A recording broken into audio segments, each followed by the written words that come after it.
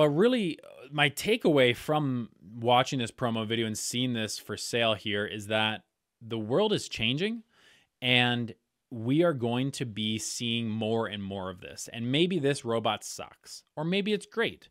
But the reality is, in three years from now, in five years from now, in 10 years from now, something like this, I believe, is going to be like a staple in everybody's house.